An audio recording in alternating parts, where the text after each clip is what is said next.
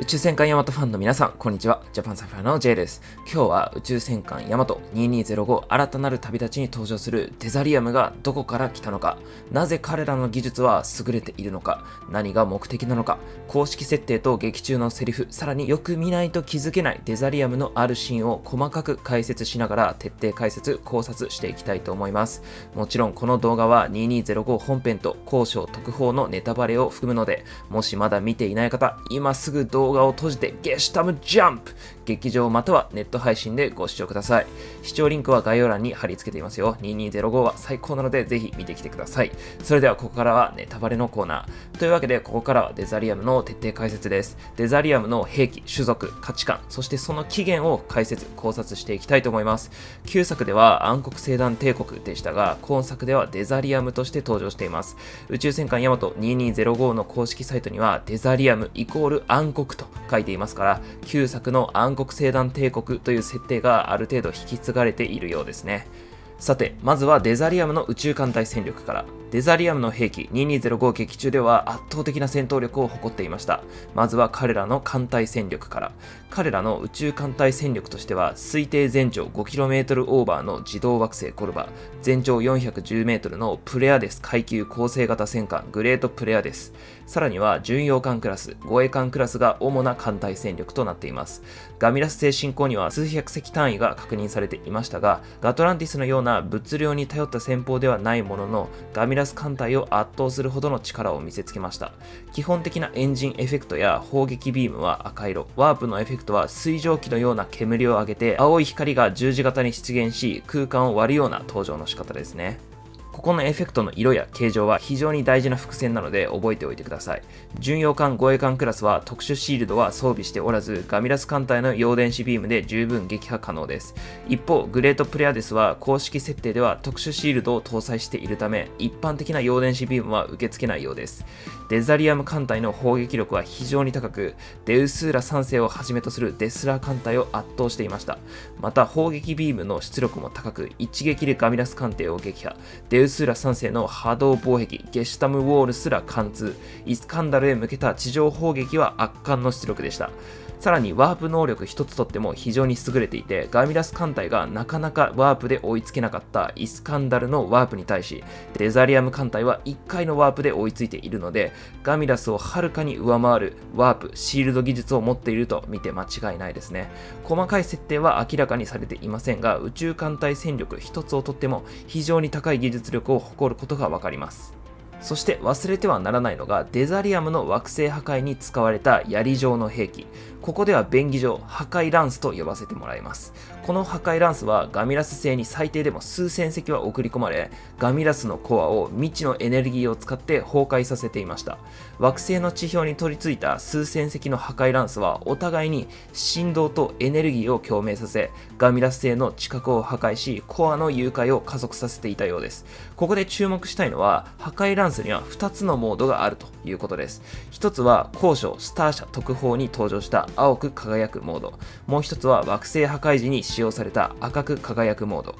青く輝くモードはおそらく惑星を移動させる改造する兵器としてのモードだと考えられます。まずこの惑星破壊ランスは大量に生産できさらには生還国家であるガミラスの宇宙防衛システムすらくぐって母星を一挙に破壊できるほどの力を持っています。ガミラスには赤く輝く惑星破壊モード。イスカンダルには青く輝く惑星移動モードに切り替えてそれぞれ効果を発揮していたのだと考えられます。ガミラスでは宇宙艦隊の攻撃兵器に使われる赤いエネルギーを使って破壊行為が行われ、イスカンダル星では青いエネルギーが星を囲んでいましたよね。これは宇宙艦隊がワープに使う時の青いエフェクトと通じるものがありますし、惑星破壊ランスの青色モードが惑星移動の効果を発揮していると考えられます。破壊を司る赤のエネルギーとワープ、時空間を司る青のエネルギーの両方をデザリアムは扱うことができるようです。さらに惑星破壊ランス、強力だったのはその特殊シールドでした。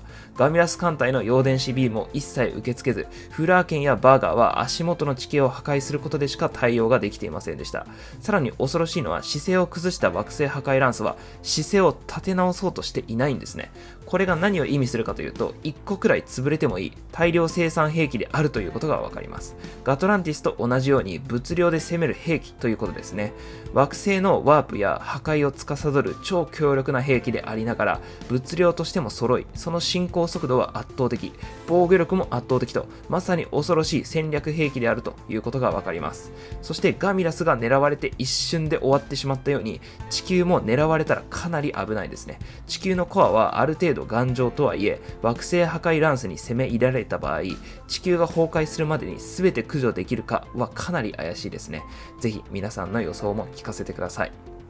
そしてこの惑星破壊ランス、デザインがガトランティスの追消滅ミサイルやイスカンダルのシェヘラザードの選手部分のような形状になっていますね。一体どういうつながりがあるんでしょうか？そしてお次はデザリアムの種族と価値観の解説、考察です。公式サイトでは人体改造を施す種族ということがほのめかされています。さらには彼らの会話から彼らの価値観がよく見て取れます。メルダーズの発言。ノイズがひどいな、デーダ。甘く見ぬ方がいい。ひどいノイズは局長を狂わせる。針が飛ぶ予兆だ。と言っています。ここで言うノイズはガミラス性やガミラス、そして予定に存在しないものを指しています。さらに、ひどいノイズは局長を狂わせるということから、決まった予定に対する懸念を示しています。さらに、ここでは、針が飛ぶ予兆だ。これは地球でレコードを聴く際の用語で、音楽の再生が正常に行われない。音楽が飛び飛びになってしまうということを指しています。ここでわかるのは、とにかく彼らは時間軸やスケジュールに大きくこだわりのある組織であるということがわかります。しかし一方で彼らはこう発言しています。記録に存在しないノイズは消し去ります。ここでわかることは、彼らの言うスケジュールは地球人の予定のようなものではなく、過去の記録であるということがわかります。ここから予想できるのは、彼らは時間がどう進むかを理解している、これからの未来の予定を記録として認識できる種族だと考えられます。さらに、彼らがイスカンダル星をワープさせた時のセリフ、我らが故郷デザリアムは遠い。惑星一つを丸ごと移送するには、今しばらく、現時空間で跳躍を繰り返さねばならないと言っています。ここで言う現時空間は彼らの言う想定通りのシナリオと通常宇宙の次元を指しています。わざわざ現時空間、つまりは今この場所、このシナリオと言っているのは彼らが複数の次元や未来を見通すことができる高次元の知見に何らかのアクセスを持っているからだと考えられます。実際イスカンダル製のワープはガミラス艦隊の抵抗により元々のスケジュールに対して遅れが発生したため行われていましたここでセリフをよく聞くと地帯予測0.06修正開始全艦共有変動予測の範囲内かととセリフで言っているように彼らは未来の予測を完全に把握していて複数パターンある未来の中で自分たちが最も欲するシナリオを実現する方法をよく理解しているようですさらに、レーダーの会話のシーンで流れるピアノの BGM。これは地球の音楽、ノクターン第2番変歩長調です。これはぜひ YouTube で音楽を聴いて聴き比べてみてください。完全にレーダーが聴いていた曲と全く同じです。よくヤマトではクラシック音楽が BGM として使われますが、これは BGM ではなくレーダーが実際に聴いていた曲です。その理由は2つあって、公式サイトに音楽を聴くことが趣味であると明言されている。そしてもう1つは音楽にレコードを再生した時のようなノイズがかかっているということから、レーダーが作中世界で実際に聴いていた BGM だということがわかります。これが何を指すか。私の予想は、時間断層を暴走させ、肉体改造に走り、さらに高次元の記録にアクセスすることができる地球人の末路であるということです。まず彼らが予定にこだわること、これから起きる出来事を記録と呼んでいることから、すべての時間を同時に観測できる高次元と同様の情報量を彼らは持っているということがわかります。2205前章では、芹沢さんがわざわざ高次元の説明を入れています。私は地球艦隊のシーンで高次元の説明が入るのは少し不自然な流れだと感じたので、これはかなり重大な伏線だと見ています。さらに地球の音楽、レコード、針が飛ぶなど地球人的な言い回しもしているため、地球人の末裔、いや、末路であることが予想できますね。私がここで末路と言ったのは、まさに時間断層の使い方を誤った、2202で時間断層を選び続けてしまった人類の末路なのだと考えています。実際、ガトランティス戦役では人体改造が本気で検討されていました。ここはデザリアム人の機械化された身体と共通するところでもありますね。さらに、全ての時間を見通し、何がいつ起こるかわかる。彼らは複数の未来のパターンを完全に把握していて、自分たちが起こしたい未来に近づけるための行動を行っているように思います。そして彼らの故郷、遠いデザリアムというのは時間断層のコアを示しているのかもしれません。彼らは時間断層を使い、技術を発展させ、肉体を改造し、高次元へのアクセスを手にしました。しかし唯一手に入らなかったもの、それがイスカンダルの地下に隠されていたものです。そしてそれが何になるのか、それはまた別の考察動画でお話ししたいと思います。以上がデザリアムの解説でした。彼らの出自や目的はかなり考察の余地があると思うので、今のところ正解はないのですが、皆さんの予想をぜひ聞かせてください。イスカンダルの分離派、あるいは暗黒星団人、未来の地球人、ボラー連邦のお偉いさん、いろいろ可能性はありますよね。どちらにせよ、デザリアムが圧倒的な戦力を持っている種族であることは間違いないですね。ガミラス星があっという間に滅ぼされたのを見たときはかなりショックでした。皆さんのデザリアムやべえと思ったシーンや感想教えてくださいね。最後まで見てくれてありがとうございます。今日のような動画をもっと見たいと思ったら、ぜひ、LIKE、コメント、チャンネル登録お願いします。それでは次の SF でお会いしましょう。